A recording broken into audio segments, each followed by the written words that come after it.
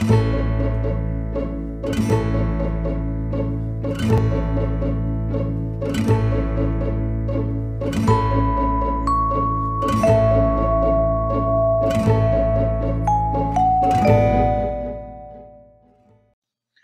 afternoon. Welcome to Jim Munley's World of Weather. Clicked on to long range weather forecast discussion from July 28th through August 9th.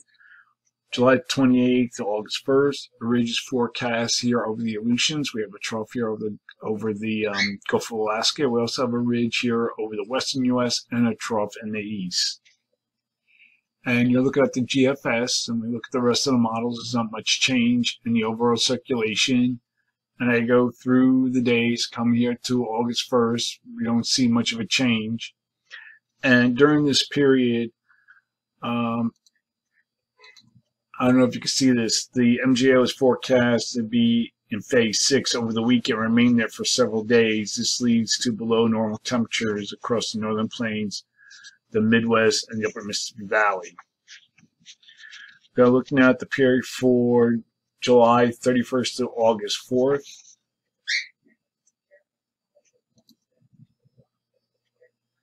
Here we are at the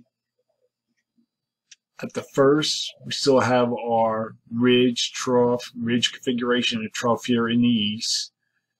And we go through the days, come to August 4th. Again, we don't see much change, except for maybe the ridge might strengthen over the um, southwest. You can see the 594 DM ridge over the over the area. So during this forecast period, I am forecasting above normal temperatures for western states with anomalies of 6 to 12 degrees above normal. Below normal temperatures are forecast for the east with anomalies of 4 to 6 degrees below normal for precipitation below normal precipitation for the west coast, the northwest, northern Rockies, the northern plains, the upper Mississippi Valley, and portions of the upper Mississippi Valley. And we have above normal precipitation forecast for the southern U.S. Now look at the period for August 5th to 9th. Here we are at the 5th. Again, the pattern remains generally the same. We have our trough over the Gulf of Alaska, ridge over the over the Aleutians. We have a ridge over the west, still fairly strong. And we look at, we have a trough in the east, but some of the models like GFS has a trough more center of the Mississippi Valley and the plains, where the rest of the models have it over the east.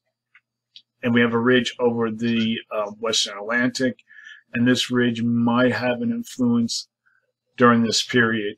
And I'll show you this with a temperature map. So during this forecast period, I'm forecasting above normal temperatures for much of the west, and where anomalies will be near 8 degrees above normal, below normal temperatures here, near normal elsewhere, due to the influence of the ridge. I'm forecasting uh, the anomalies be about 2 to 6 degrees below normal for precipitation calling for below normal precipitation again for the west coast states and northern Rockies, central northern plains. And above normal precipitation is forecast for the four corners, the central and eastern Gulf Coast states, and the southeast.